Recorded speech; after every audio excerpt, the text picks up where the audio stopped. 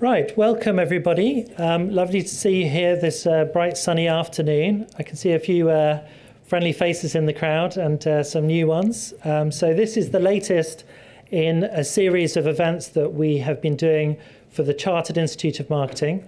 My name is Jacob Howard. I work here in marketing at Deutsche Bank, so I'm kind of hosting two times today, hosting for Deutsche Bank and hosting for the Chartered Institute of Marketing, where I'm the chair of the Financial Services Group. So last year we did some events on digital marketing and uh, GDPR, everyone's favourite topic. Uh, this is the first event of this year, but we have other events planned. And um, after the panel today, I'm inviting uh, you all to come downstairs with me, and we're going to the pub. So please do, if you can, join us. And we, uh, during that networking evening, we want to gather more ideas from you about other activities you want to see in this space. I've already heard um, in the past uh, 30 minutes, you know, I didn't know this was happening. Can we do more of this? So let's get all of your ideas and start to form this community and do more things that are relevant to you and financial services marketers. So we've got a fun, fantastic panel today. Um, open banking, what does it mean to financial services marketers? And I'd now like to invite the moderator, Daniel Henderson from um, Athlon, to come up and introduce his panel.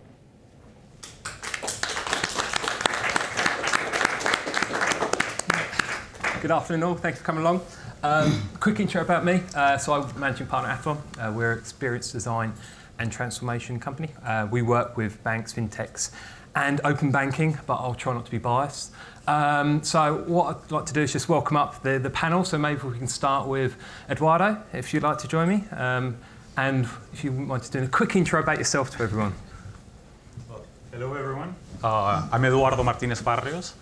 You can tell that I'm Spanish, right?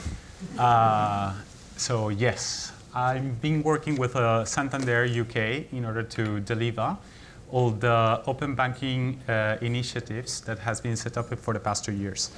Uh, and definitely has been a journey. Besides that, well, I've been working with Santander Group for the last uh, 11 years, working in the uh, group-wide initiatives and as well in the UK, the US, and other regions where we operate. Uh, also invite uh, Jasper, if you can come up and, and do the same. Do the same. Do the same. Obviously, different company. yes.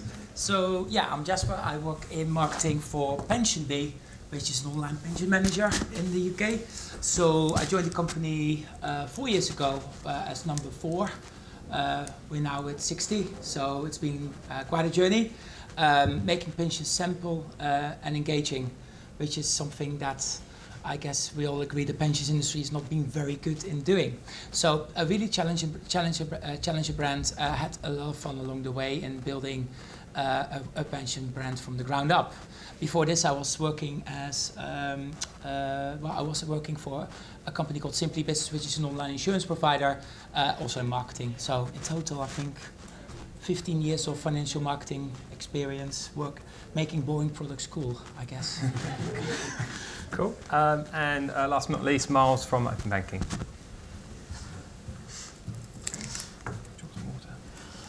Uh, good afternoon, everybody. Um, so I'm Cheetham from um, Open Banking. I'm, uh, I'm head of propositions. Um, you might ask, what on earth is that? Uh, my job is really to understand what the customer wants. That's um, either the man in the street or the small business. Understand what they want. Uh, make sure that's reflected in, in what open banking actually builds. Um, I've been at Open Banking literally since day one, so it's been one hell of a roller coaster ride.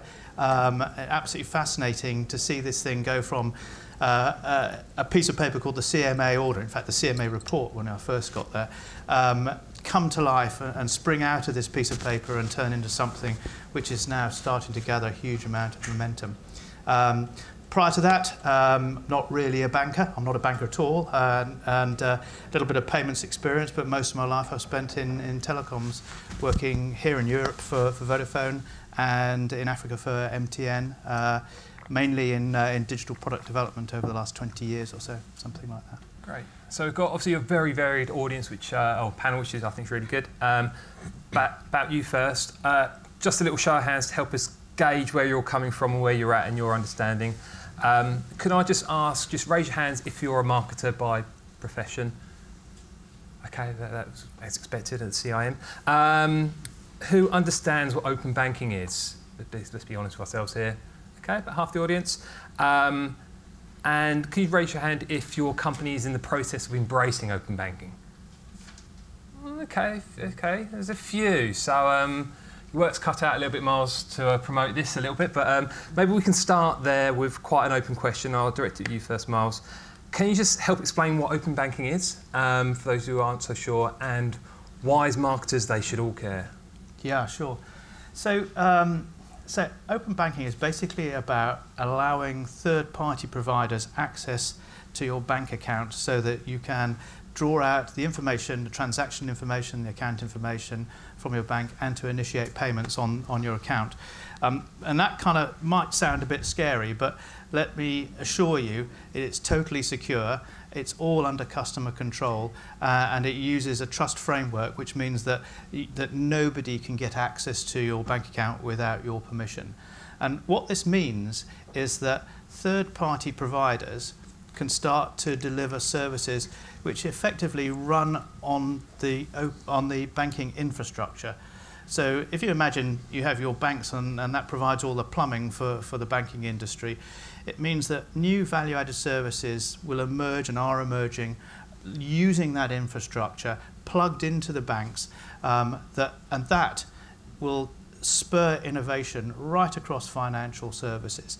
Uh, and that's really why it's so interesting for marketeers because it's a kind of step change. What the Competition and Markets Authority did when they, when they um, initiated this and, and wrote the order was they did something that no other comparable body has ever done anywhere in the world, and that is to, is to mandate access to bank accounts. Simply hasn't been done before. The UK is well ahead of the rest of the world. The rest of the world, actually, by the way, is following and very, very interested in what's going on here. But, um, but we're making great strides in the UK as an industry in adopting this te technology. What that means is that customers will have a far greater choice in the products and services that are available to them. A lot of things which beforehand would perhaps have been a bit exclusive um, now can become automated so there will be kind of broader coverage of services, things that you, you know, where you'd have to pay for advice and things like that. Those kind of things can be automated. Um, and it will start to breed uh, uh, you know, much greater innovation across the piece. And uh, it, it will change the relationship that people have with financial services um, over the next five to ten years. Let's not get carried away. It's not going to happen as a big bang. It is happening quite quickly, but you know you'll see this happen over the next few years. Cool. So, so on that, obviously, it's about spurring innovation, and you just tapped on the end. It's five to ten years before we probably see the full uh, breadth of that. Um, and there's been a recent report, and I'll direct this one to you, Edu, um, about the failure of some of the big banks to uh, adequately deliver on open banking for their customers. So it'd be good to know your thoughts um, from a position of Santander. What is it a competitive opportunity? Is it a market disruption? Well, definitely, I think is uh, open banking. First of all, what leaves you on front of you is a whole network of of, of uh, rails that, uh, as at the moment, then banks we have the opportunity to uh, provide as many services as we want and uh, of course, that will be levered through all the potential partnerships with third-party providers. Uh, I think this is a very important point that at the moment what we are facing is a new way to uh, interface the consumer. So it's not just across the regular channels that we as a bank may have, it's actually now we are uh, opening the door to start working with other companies, fintechs, third parties, where we can start um, amplifying our product and services to reach out the consumer public. So saying this, what I'm trying to, uh, to say is that definitely I think it's up to the competitive space of each of the banks to take advantage of these new rules because in the end it's a, it's, it's a set of rules. And knowing very well the rules that we need to play with is about how do we do better. And at least this is the journey that we are heading towards. So. Um, and I think the opposing view from a fintech is quite interesting. I know PensionBee had done quite well recently. You've uh, been voted, uh, was it Tech Company of the Year by Evening Standard? Yeah. So well done for that. Um, but it'd be good to know your views. Nom- nominated. Nominated. has it has it been announced yet? Who won? Not yet. Oh, okay, okay. Uh, Fingers no, the crossed. tux is in the Okay. wardrobe. So if you can tell us maybe from your perspective um, what the opportunity is, is it um, what do you think is required to succeed in this space?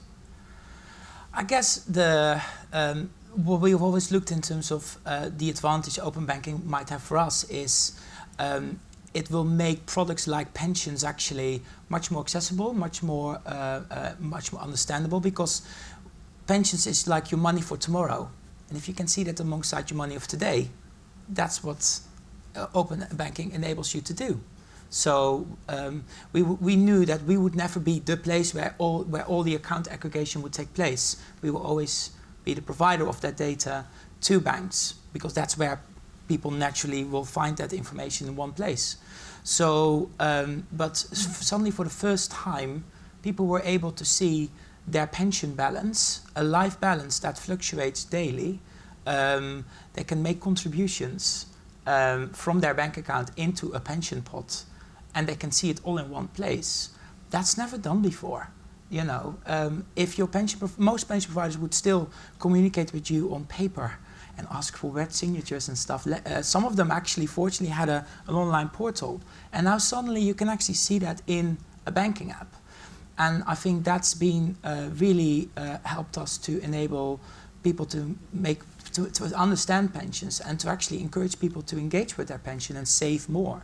So people who have connected their PensionBee balance product within the banks we work with, um, their contributions shoot up, shot up quite significantly. So suddenly it didn't went to a cash ISA, it actually went straight into a long-term savings product. How cool is that? And I think that is kind of like um, uh, for the bank itself, it creates um, um, a lot more brand aware, like uh, a much uh, more customers are much more happier with their bank because their bank enables us enables them to actually take control over a product the bank might not offer. Um, they will stay with the bank for longer, um, and they might be more loyal customers to that bank because they just provide that uh, uh, uh, the view of those products in one place. So could you just expand slightly maybe the, the marketing angle? How have you got from uh, idea to where you are? Uh, you know, being a brand that has been nominated for awards. Yeah. Some of you have probably seen the advertising on the side of the train lines. Yeah. Can you talk a bit about the message? Because it's obviously very important for open uh, open banking that there are parties who are Mm. talking about it because end consumers don't know much about it. So talk a little bit about the marketing channels and messages. So for us, a third of our customers daily are signing up through open banking partnerships. So from a marketeer's perspective, there's there's a huge opportunity from an acquisition point of view. Um, so one example I can, one of the banks we work with is a challenger bank, which is a Starling Bank. Starling Bank has been at the forefront of rolling out marketplace, where people would be able to uh, shop around uh, and uh, add more products to the uh, to their portfolio. Um, you can imagine that people uh, signing up through a, an app like Starling, for example, um, uh, we've made it super easy to sign up to a PensionBee product, to start the find and combine process of pension consolidation all in one place. All of those open banking partnerships combined, that's a third of our acquisition daily coming into PensionBee. So it's been very, very significant in actually building our brand from the ground up. Um, so we're not just using our direct to consumer channels, um, whether that is more performance led or whether that's more brand led, um, but actually the partnerships like we have with Starling, but also with Yolt, Money Dashboard, and some of the non banks, more account aggregators, has been quite vital in actually building, uh, acquiring customers. So there is, there is really that customer acquisition point. So from providers like PensionBee, it's an opportunity there. Okay.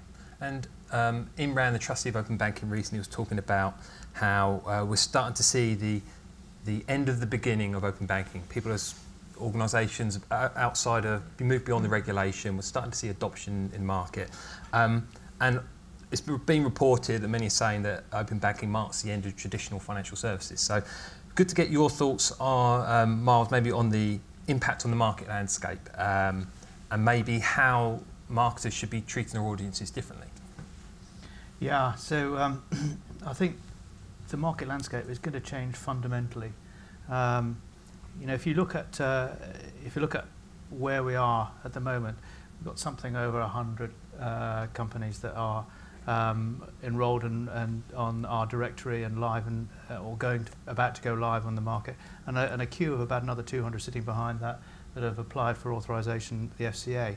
Um, you know that's significant number of, companies. I mean that is going to have an impact um, on the marketplace. You know there are varying sizes in there. You know some of those businesses are small, some of them are, are, are rather large. I think one of the things that inevitably we're going to see is um, the arrival of some very big names in the marketplace over the next two to three years. Um, and these will be companies with much more of a kind of, uh, I want to say big tech, but um, uh, you know, much more digital thinking, uh, very customer focused, very much uh, thinking about the, the experience, the totality of the experience that they're, that they're delivering. And I think this will have quite an impact on how people start to perceive financial services, and that will ripple right across everything. Uh, you know, I think it's inevitable that we see uh, some quite interesting market entrants as a result of, of what we've done at Open Banking, um, and that will change this landscape. I think markedly. You won't feel the impact immediately, but if you roll forward, as I said, you know, certainly five years, you'll see that it's had an impact. In 10 years, I suspect we'll be surprised at how much of an impact we've seen from uh, or, or change in, in the market landscape uh, as a result of, uh, of what we've done with open banking. Okay, so potentially a, a counter view, maybe not, but um, you know, market awareness and adoption is still low. Have you got any thoughts, maybe from your, your observations or a, a Santander perspective, why that is and what needs to happen? Well, definitely, I think it's about raising awareness. Uh, an example. I, I, I, was in an event, uh, uh, I would say a couple of months ago, uh, where a lot of uh, university students were there, and uh, no one was aware about open banking. And actually, I think that's a, a good indicative of what's going on here. I mean, as Miles was highlighting, we're talking about that there are around 230 TPPs are in the process of getting uh, certified by the FCA or the National Competent Authority and start activity within the, the, the open banking ecosystem. But uh, I think what is important, what we need to, to mature, is in the entrance of ideas that will generate use cases that uh, will be uh, generating at the same time much more uh, engagement with the public. I mean, uh, Jasper has been raising their use case that is about pensions. That's just one. And focus on a particular topic. You can apply this to whatever you want. It's about, you know, triggering ideas, triggering implementations that are uh, uh, appealing to the customer, that needs to be very much uh, customer orientated and, uh, uh, and that's what will generate the awareness to the market because it's not about that we're going to publish papers about what is open banking, what can bring to the public. No, no, no, no. I mean, that needs to happen through actually products and services that are released to the market. And they probably don't talk about open banking. Indeed. And, and, and why should they? Indeed. Like this is the Indeed. whole thing. We don't talk about open banking. We mm. talk about the fact that you can see your, your, your money from tomorrow with the money of today and therefore you enable people to save more for retirement. Great, there must be other user cases, but let's stop calling it open banking because that sounds very technical. Yeah, indeed. And no, nobody's going to get up in the morning and say, exactly. I need some open banking. yes, I need to do some open banking today. No, that's not what you want. I want to download an app and get some of my accounts uh, yeah. in one place. That's what you want. Yeah. So, and I think uh, last year, like because it was implemented, um, there was lots of talk about open banking, also in the press, and I think a lot of people just went just over their heads. That, that message is obviously really important. Is there a is there an advantage to being a startup, a fintech who can have a single focus versus maybe a large bank who there's a multitude of messages and consumer uh, scenarios you need to talk about. I mean, did you find there was an advantage coming to the market knowing that you were just going to solve one customer problem?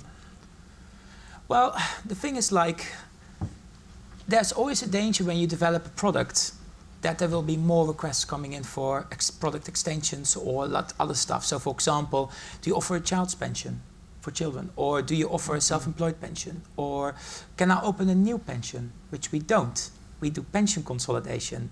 And we build a technology platform that you just tell us where you've worked. We know where your pension is. That took us a lot of, still does take us a lot of resource and work to do. And we're not big, so we, we don't have deep pockets to branch into other areas. So we're very good at solving one thing. Without open banking, you can imagine that might become a bit too narrow moving down the line because you might have other needs. I want an ISA, but we don't offer ISAs. We're not going to offer ISAs, we're pensions. So this is the opportunity that open banking brings to more niche players or specialists. The whole thing about having everything from one brand, I think that's gone with open. Well, open banking will, will actually accelerate that. So people will have maybe, um, for example, a First Direct bank account. Um, I have a First Direct bank account, but I also have a First Direct mortgage. I can see them all in the app. How how great is that? But I do have a Marcus savings account because First Direct doesn't offer a very good interest rate at the yeah. moment, like 0.00001%. So I rather want to have 1.5%. And uh, three account, please. I will, I will, I will switch tomorrow. One sign up. But yeah. it, the thing is, like, but with open banking. Get the form out. sorry. Thank but with, with, with, with, with, with open banking, I can just pull my Marcus data into my banking app. And, that, and so, therefore, niche players will have the advantage there to actually offer product and do it really well. And I think the big players like banks, you will have some of the products from them, but they might not be good in everything, and they just pull that products uh, within the banking app. I think that will be perfect. So Inertia's obviously been a friend to the bank for, for a while, um, and Santander has historically done well. You've won the odd uh, customer experience award, which is great. Um, how, how do you compete against the new players? And you, you, you know, you dropped your one, two, three message there. But are there any, uh, are there any specific messages that are customer focused that can fend off the fintech competition? I, I don't think it's about fencing up. I mean, this is a particular view. Okay.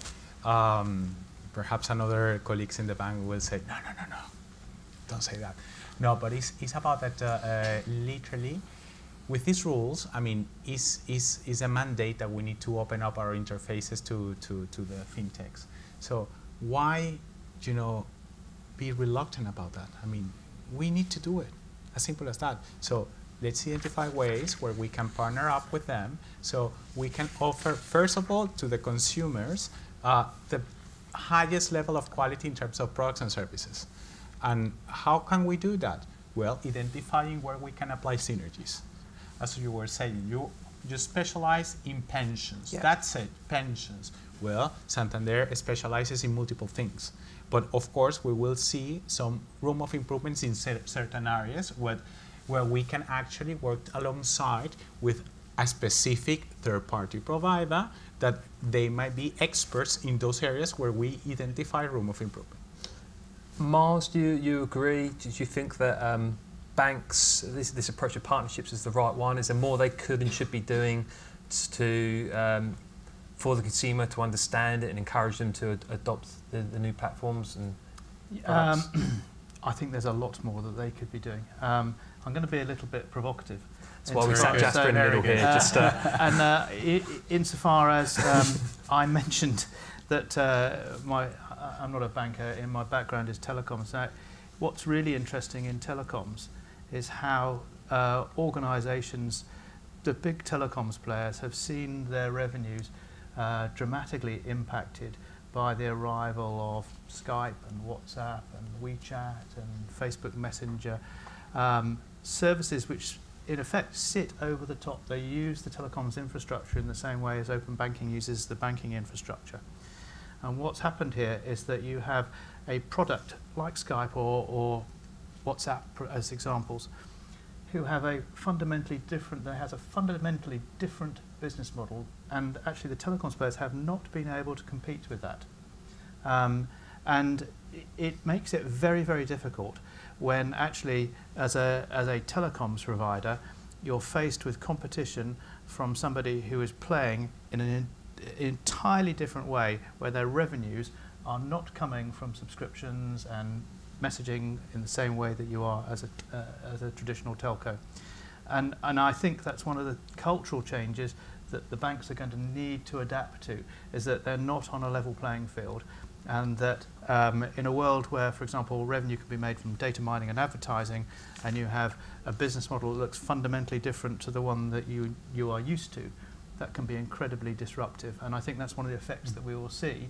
Um, now, the banks, in my view, are not moving fast enough um, and don't recognise that threat as clearly as, as, they, as they should do. And, and I can tell you I've spent many, many hours and years working in, in innovation and in, and in business planning in telcos to know just how wrong I personally got it on some occasions.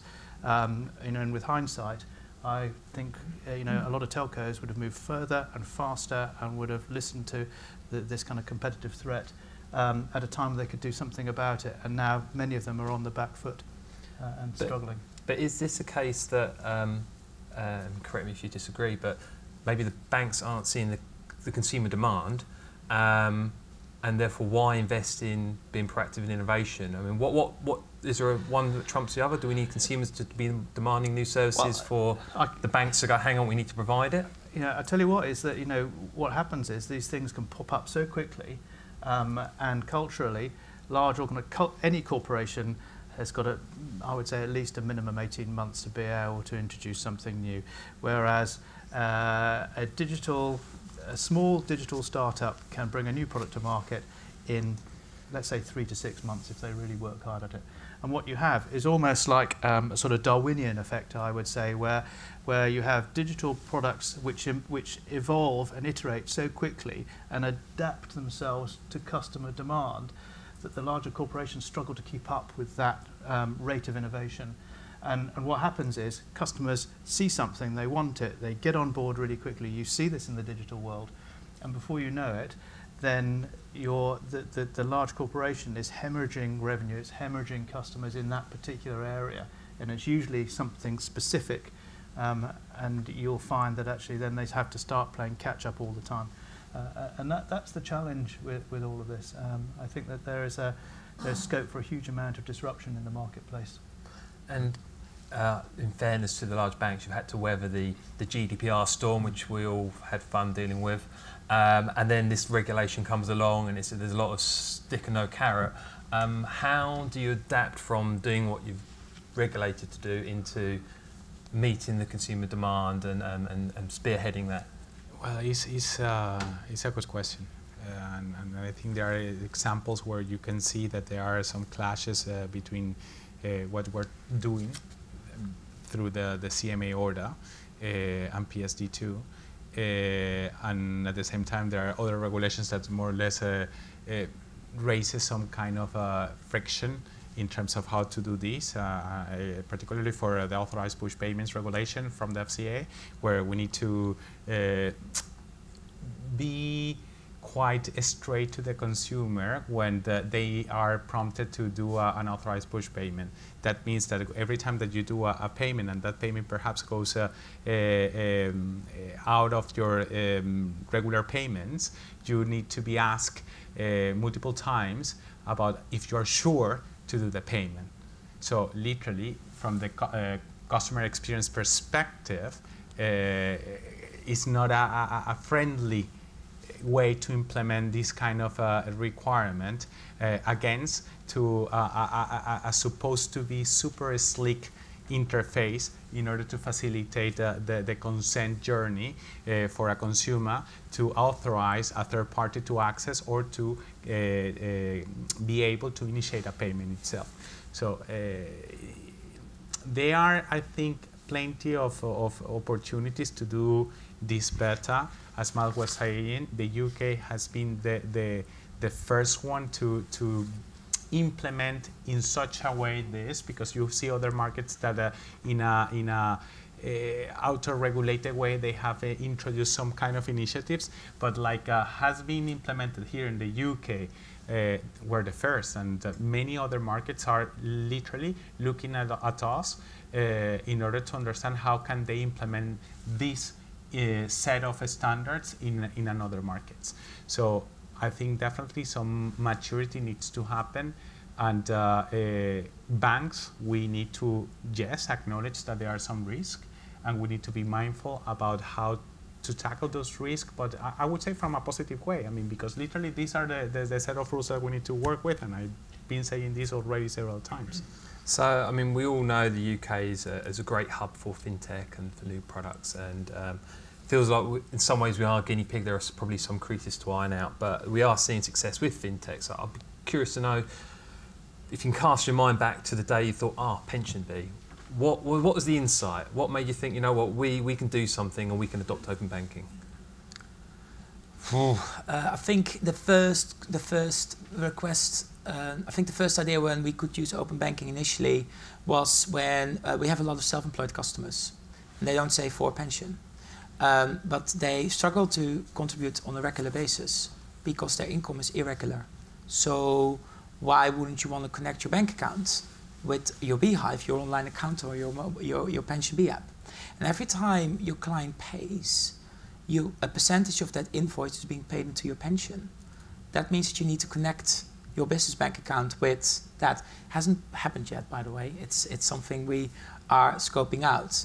But that's basically auto enrollment for self employed. If you think about that, how cool is that? Mm -hmm. Sorry, I used the word cool now twice today.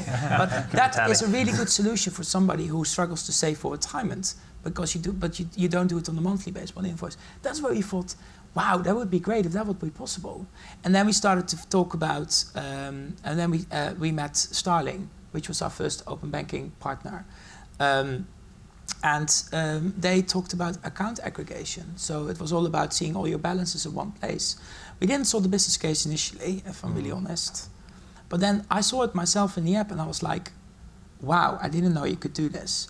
And I think when it comes back to is this consumer driven or is this innovation driven, um, it's sometimes one or the other. Uh, in case of the balance, it wasn't consumer driven because I wasn't really like research and our customer feedback didn't it didn't show that customers wanted that until we've actually built it and we tested it and suddenly, overnight, we had to stay late and man the live chat and the sign up because we could not stop the influx of people signing up to PensionBee for the Starling app. And it was just, it was great, but it was like, why didn't we saw this coming? So sometimes you need to create something for a consumer to think, oh wow, this is absolutely great. But on the other hand, with the self-employed, that was definitely driven by customer feedback. And did you have, I mean, having worked on the, uh, the um, user experience design for open banking, yeah. I'm, I'm, well aware there's, there's obviously some challenges with, yeah. through the consent process. Um, you used the word call a lot, but were your customers using call? Because from a marketing perspective, they've got to think, if we do something, what's the backlash? What are the challenges we're going to have in our comms and our, our, our brand perception? Yeah. So were they all saying cool? Uh, no, they won't all say cool. Some of our customers are 65 plus uh, because they're drawing from their pension. Um, I say we typically, especially our first wave of customers, are definitely early adopters or innovators where they absolutely um, think things we do are, are cool, uh, as in like you know innovative. 80% uh, of our customers are not based in London. So we often say we don't do it for uh, Bearded, James and Shoreditch, but we do it for Jane in Cardiff and that's kind of like our real customer. She is she is a PensionBee customer, uh, has an average pension of 40k, um, and isn't into open banking or all of that stuff. She might use the open banking app, but that's our bread and butter of our customers today. So um, it's um, um, um I would say it's definitely um, we're building products for her, and she might not think we're cool, but we solved the problem, okay. and that was lost pensions and she can now see it in one place. I'm going to come back to target audiences and propositions. Yeah. I think that's really important for this. Okay. But because um, I like to delegate work, uh, it's your turn. So, Jacob, you've got a microphone. Yeah, Has anyone got? A... Oh, cool. Um, quick question. Um, you talked in the beginning uh, about data security, but when we're talking about uh, all of our data is the new oil. It's not just the security; it's a integrity, ownership uh, on that one. So um, I'd like to have your views on what do you think about the actual ownership of data and what happens if along that process some mistake creeps in. Say, for instance, you've got a customer with his behavior suddenly get a, gets a foul credit rating and everything is shared immediately and spread immediately. How can this person be under control again in correcting this information? And who would he or she point at with the wrong information? Because we currently just look at the fantastic, bright future, everything is cool, easy, and stuff. But imagine later on in the future that you're almost scared to share something because you do not know where it ends up and who owns it. So, can you tell, a, a, tell you know, us about that? Because as a banker, the first thing that I learned is risk management. It's like it was hammered in my head. First of all, I mean, from, from the bank perspective, okay, but this is already happening.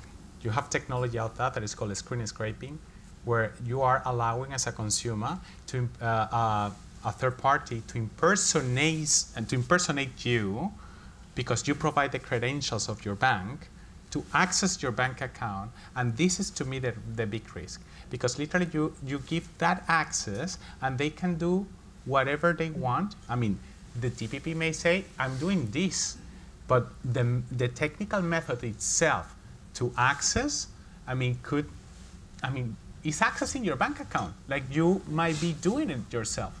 So that's happening already. What happens with APIs is actually that you provide a specific consent and a specific authorization to access a specific set of data. So it's not a, a, a, blank check to the third party to do whatever they want. So this is the first point. And then in terms of controlling uh, who access because you perhaps have granted authorization today, and in six months' time, you perhaps have granted I don't know how many authorizations, and you forgot. So banks needs to provide a consent dashboard where the third, I mean the customer have visibility on all the authorizations that has granted and can turn off the consents as the customer considers uh, you know appropriate. So that's, that's a, I think, a much better way to control the data that actually of what is happening at the moment. Mm. And a lot of the work we did with you guys, and we did like 200 uh, prototypes on the APIs and the user journeys to identify the understanding and communication. Now, um, there obviously is a lot of concern around data. Uh, how important was thinking about the consumer journey and that, that concern users may have in the work that open banking were doing? It was paramount. I mean, that's where we started. Was this place? This goes nowhere unless customers trust this. And in order to trust it, they need to have control. So it was absolutely fundamental. It was very one of the very very first things that uh, that we started to work on was how are we're going to build this and how are we're going to make sure that this remains within the control of the customer. Because if we can't achieve that, then all this is for naught. Um, and, and just building on what Eduardo, Eduardo has said, uh, you know, I think we're actually at something of in something of a kind of uh, a step change in the way that customers um, see and perceive the level of control they've got over their data. Um, because if you think about where we are today, um, people have been cheerfully sharing their personal data through social media, um, through all manner of things every time they Google things. Um, and all of that has built up this big profile about them, and actually they have very little control over that. And, and I think one of the things that we are hoping that will, um, that will emerge as a result of the work that we're doing is that people will begin to understand that it is possible to have very uh, tight, fine-grained control over what they do and don't share. So building on the things like the dashboards and, and, and the way that, that you grant consent and how you revoke consent and all of those kind of things. Um, and, and this is a continuing theme in open banking. Last year we published the customer experience guidelines and, and that basically spells out in, in detail what you need to do not just from a regulatory point of view, but in order to deliver a good customer experience. And that's really all about providing this level of control throughout the customer journey and making sure that the, the customer is doing this in an informed way. But we're continuing to work on um, how, how you would, uh, for example, uh, raise the level of comprehension or, or speed up the time that customers mm take to comprehend what's being presented to them. And, and, and that there is um, presented to them in ways which is easy to assimilate, that it works within the, the framework of the customer journey and actually improves the propensity to share their data through these third-party providers. Um, you know, it's no small task, but um, there's been some very interesting work done through um, Department of Business Energy uh, and Industrial Strategy the, and the Behavioural Insights team have recently done uh, some work which is about to be published, um, which looks carefully at, you know, this, this thing about, you know, scroll, scroll, scroll, scroll, scroll, I agree when you're signing up to something. Um, and they've kind of broken that down and looked at techniques to try to improve the level of understanding and, and so on. Um, and they've come back with some very interesting and simple things that you can do. And, and we're working with, with um, that organisation um, and we'll be uh, assimilating that within our customer experience guidelines. We're also talking to, um, to other parties and sharing experience from around the world where, where this is also developing.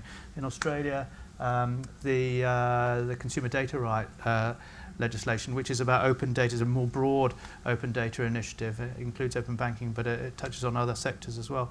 They have a very similar kind of challenge, and, and we're getting perspectives from what those guys have learned as well.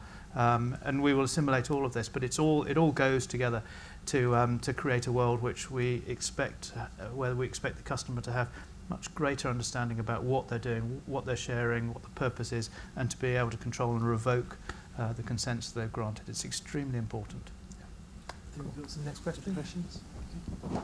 Um, hi, Ed Coke, Repute Associates. Um, given the context of the financial services industry, which hasn't got a particularly strong reputation, particularly around um, the retail, the big retail banks, I wanted to get your views on what you see as the biggest reputational advantage to adopting open banking, and the flip side, I expect, I suppose, sort of building on the previous question, is what are, what's the biggest risk you see from a reputation perspective? So, how can you leverage something um, as uh, apparently as strong as this to the brand's advantage rather than um, uh, simply kind of adopting it because it's a good thing to do?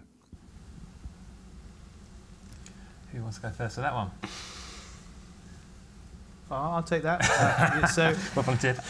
Yeah, it's a, it, that's a really um, good question because, um, you know, why just do something for the hell of it? You know, there's got to be a real advantage in it for the customer. Um, you know, the, the first question is, in any proposition, what's in it for me as a customer?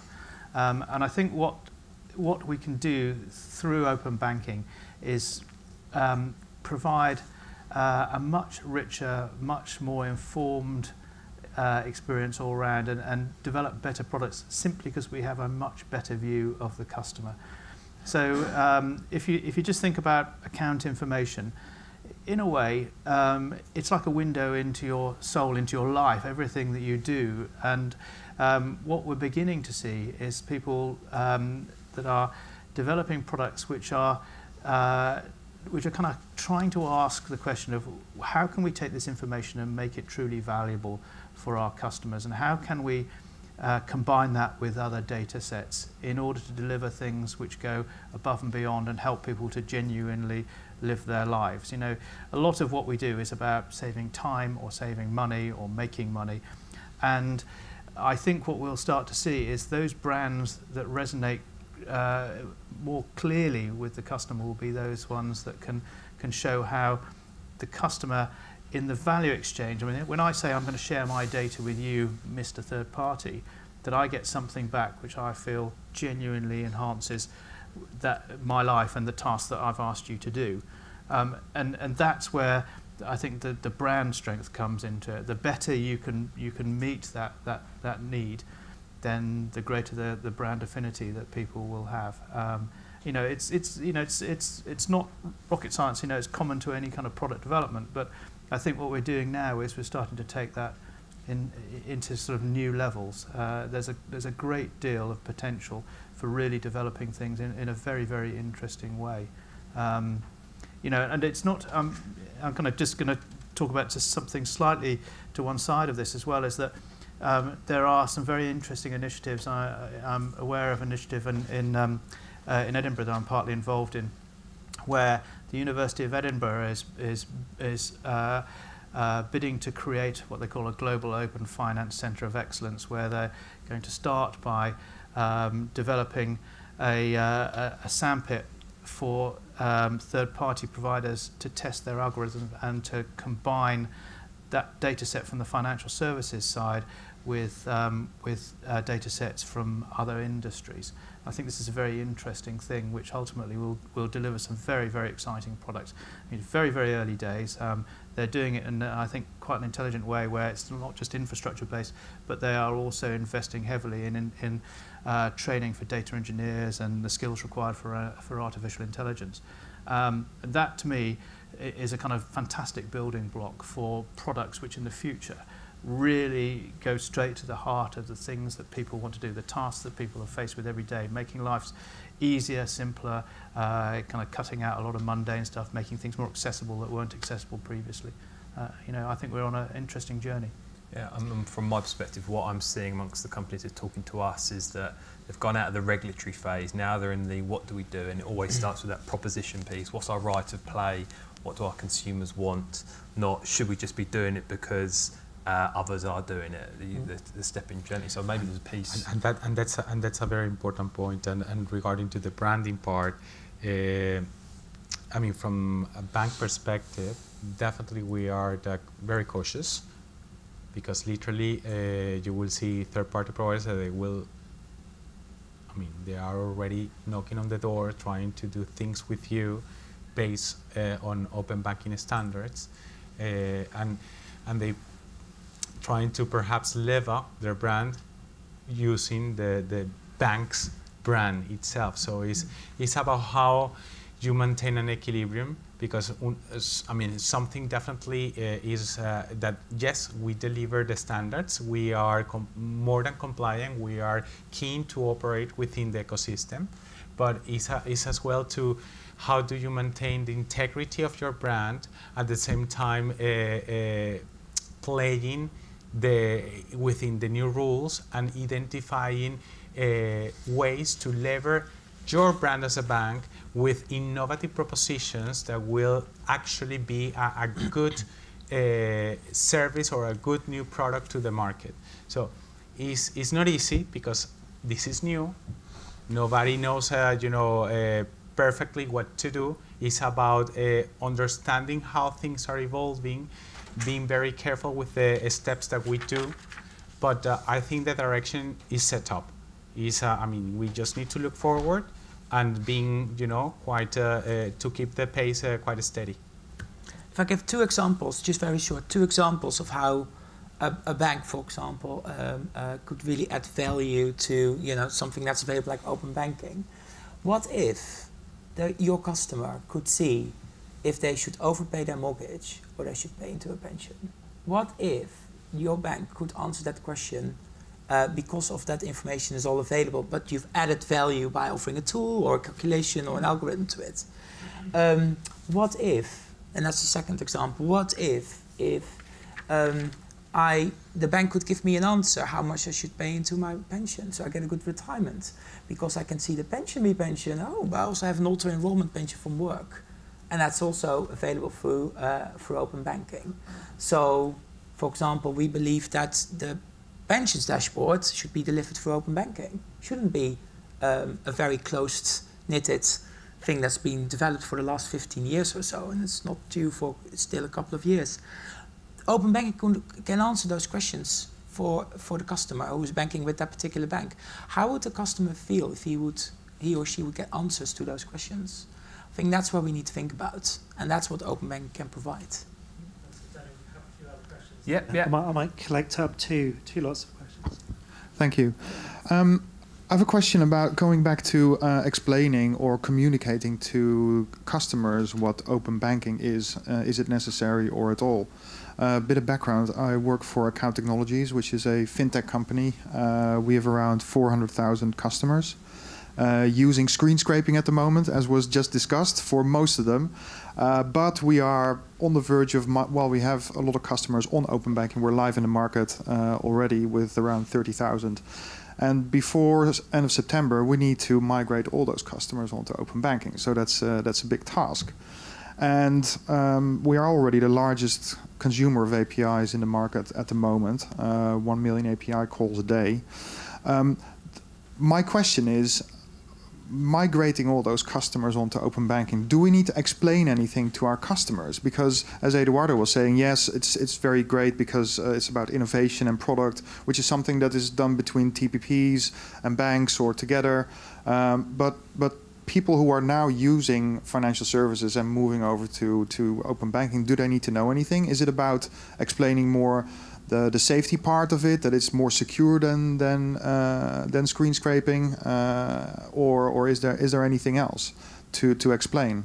So what's the key message? Let me give you another question to ponder as well.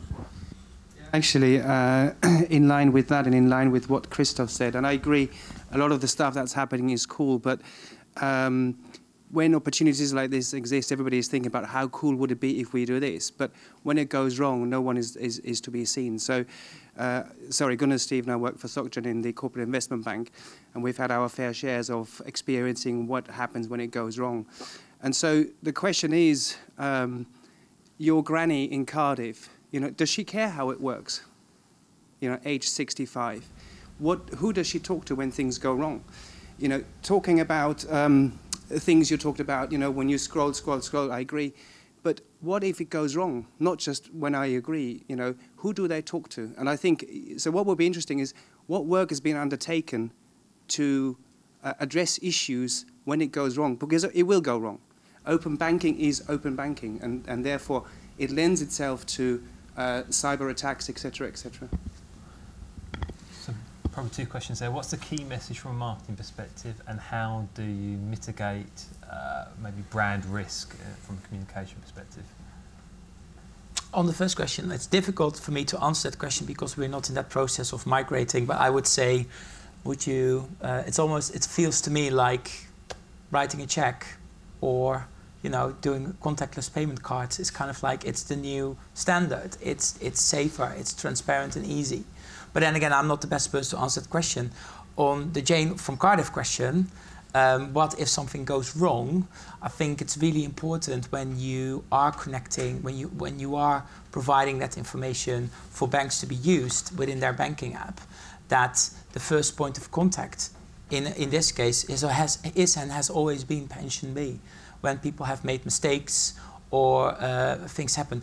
At the moment, if I'm really honest, there's no been money transactions taking place between PensionBee and banks. So, for example, we are running trials now on uh, payments directly from banks into a PensionBee product.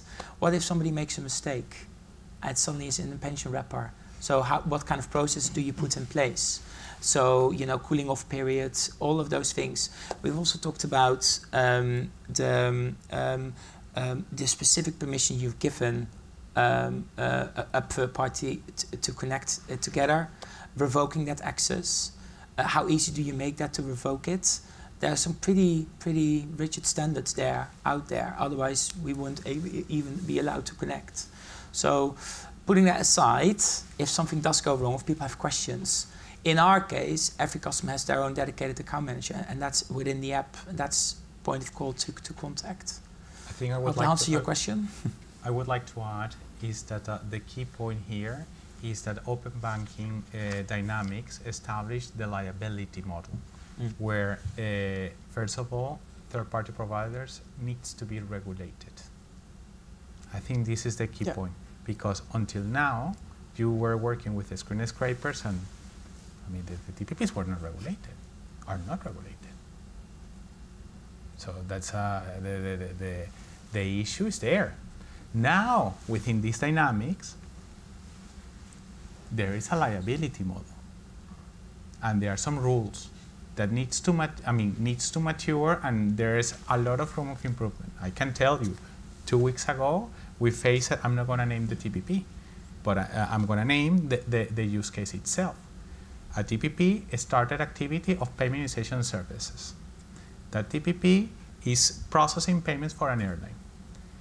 We had two customers that they arrived to the airport to take the flight and the payment was not processed.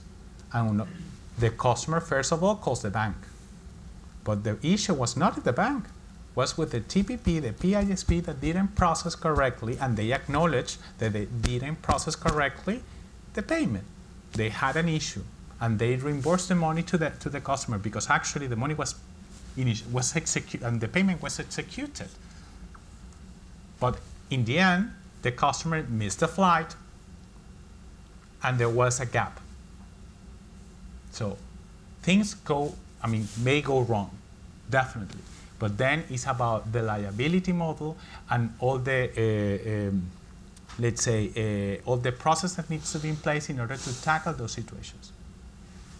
Okay, a lot of importance on customer-centric product and service design and on the TPPs to make sure that they have that blended model of digital first, but maybe backed up with a customer support and good integration. Yeah, I can add a couple of things to that as well. I think is that it's important to note. You know, we do have a uh, a piece of work that's going on around creating a dispute management system, which will go live in in the summer, which allows uh, any party to talk to another party within the open banking ecosystem and a set of rules that help to resolve uh, any kind of issues that may uh, come up.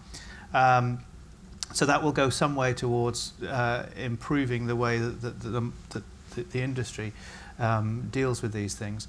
But I think um, I think there's another point, and which is that we operate a thing called a, the Consumer Forum, where we invite customer advocacy groups and charities and so on, um, and to come and uh, and uh, and discuss with us all the key issues uh, around open banking. And the points you make are um, have been widely discussed, so we understand exactly uh, the responsibility there. Um, so those do get taken very seriously. And Eduardo, as, as, what, as Eduardo has said, you know, the, um, the liability issue, the dispute management system, those are some of the things we can do. I think there is a bigger question, and that is around um, the regulatory framework. Now, to some extent, with payments, it's fairly straightforward because there's a regulatory framework for all of that. I think that there is a gap, and I know that there are quite a few people that would agree with me. There is a gap insofar as if something goes wrong with the data you share, then GDPR, of course, will fine the company. It's quite a significant fine, 4% of turnover. Um, nobody wants that. But what it doesn't do is really do anything for the customer. The customer, today, the customer journey they have to take, something goes wrong, it has some catastrophic consequence for them. Doesn't matter what. They have to then go to the ICO, the Information Commissioner's Office, and, and take their case to the ICO. The ICO will judge on that and then they will give you their, their view on what's happened and then you can then take that to court and take that company to court. Nobody's doing that and rightly so because it's a stupid thing to, to imagine that people are going to do that. There is a huge regulatory gap that needs to be addressed and that is that there should be much greater uh, control for the customer, there should be much greater um, uh, compensation uh, particularly for things like consequential loss as a result of a data breach or something like that. And I think that's something where actually, um, you know, the, the, the government needs to be applying some real thought and making sure that um, that, that kind of thing is addressed. And, and I'm optimistic that um, when uh, we really see what's emerging from this discussion about having a data regulator with real power, that, that that's one of the things that emerges is that there's much greater um, emphasis on making sure that the customer is looked after because the more data is shared, and it will happen a lot over the next 10 years or so, people will increasingly share their data, um, the more people need the protection and the compensation when things go wrong. So I think it's a really important regulatory question as well. Okay. Uh, conscious of time, one question over here. Yeah. Can't wait. Hold on. Yeah, I can speak. Okay. Hi, Chi Hui, uh, founder of Say No to Crypto Grannies Limited. Uh, so when you look at financial services, so great transition questions from the previous one. When you look at financial services, here we have banking, we have funds, sort of, and then we forgot the coolest and sexiest industry, insurance. Sounds a little bit like not off, off topic, but it says what does financial services marketeers mean. So, will there ever, one fine day, be an open insurance, or like, can, can you please like tell please? Well, oh, and also Santander. Do you have an Instagram for Santander UK? Pardon me? Do you have a Santander UK Instagram? Because I can't find a handle. Are you responsible for Instagram? I'm not responsible Okay. for that. Um, so, Miles, do you but know we that- have a, we have we have a media group and they have everything. And do we know I of anything in the insurance Take world that's going to be similar? Um, right now, I don't. Uh, other than you know people talking about yes, would it be a good idea, but um, uh, uh, I'm convinced it'll happen. I can't tell you more than that. I think the, Yeah, one last question. Hi, uh, David Hetling, SDL PLC. Uh, I wondered how open open banking can get uh, in terms of globalization. How likely is it, and in what time frame do you think organizations from abroad will be able to um, join the trust framework that you've been talking about this afternoon? So, um, if you are an EU company uh, under PSD2, you can passport in, you can operate on the Open Banking Trust Framework today. No problem with that. Um, beyond that, uh, there are all kinds of discussions going on across different markets and a, and a, and a strong desire to bring greater compatibility between the different standards. And, you know, there are uh, there are even discussions around standardizing the standards, if you like. Um, so I think we're on a journey. I imagine that that's something that will come along. Um, it's not, I can't say, yeah, it's definitely going to happen, but I'm pretty sure it will do. Um, I think it's only a matter of time. It just needs to, to, to evolve, really. Uh, d- d- depends as well on the, on the reality of the, the other markets. Give you an example.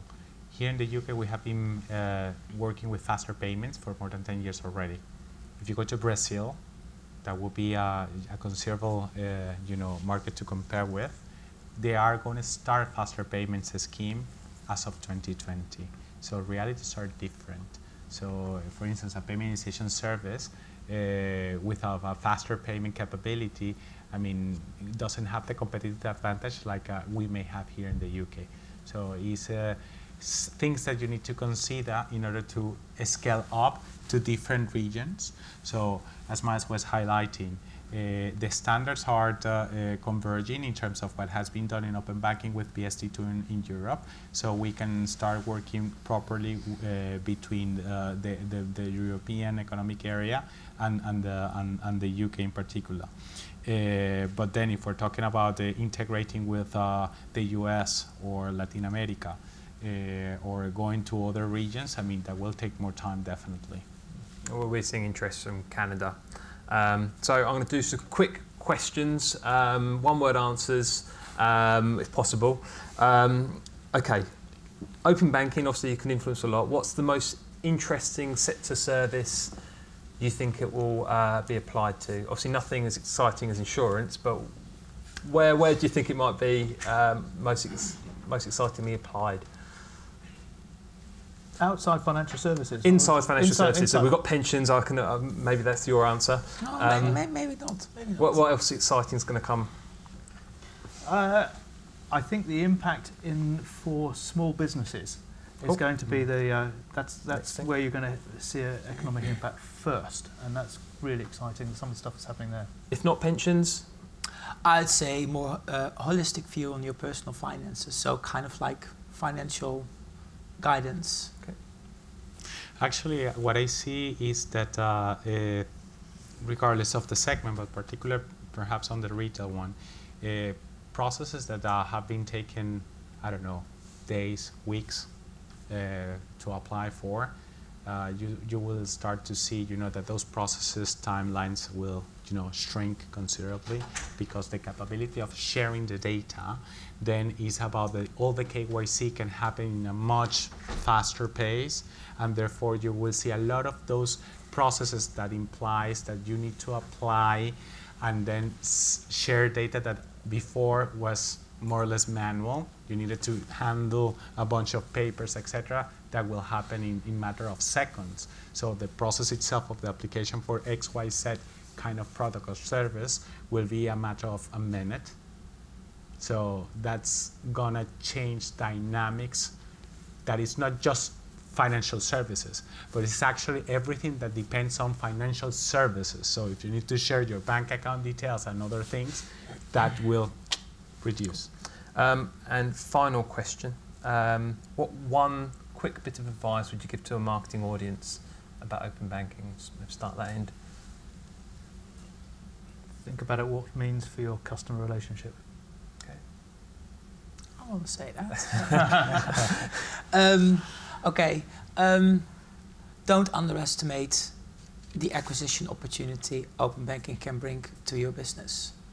A third of our customers are quiet for open banking every day. Cool. I would say the technology normally goes quite faster that what people can understand the benefits that the, that technology may bring. So I think marketeers have a, a very interesting, uh, you know, task that is actually understanding what technology, you know, puts on the table, and therefore translate that into a simpler way, in a simple message, so people can understand what they can benefit from open banking standards. I would say. Okay, well, thank you. Um, we're a little bit over, so I'll let um, Jacob conclude. Uh, but obviously, thank you very much, guys, for the uh, the sharing of the, your thoughts. Um, if you're hanging around and the, you guys hanging around, there'll be a chance to probably interrogate him a little bit further. So I'm sure there's a 101 more questions. Um, yeah, thank you very much. So yeah. please a round, round of applause for our panel. To the pub. That's how I'll end this. Um, we're going to go downstairs to Balls Brothers Austin Friars, which is just a short alleyway from here so very close to the building. This is just one of a number of events we want to do. So we want to get your ideas for future events. We're planning a big one at the end of the year, the CIM Financial Services Summit uh, with the World Media Group. So stay tuned for more on that. And uh, thank you for attending today.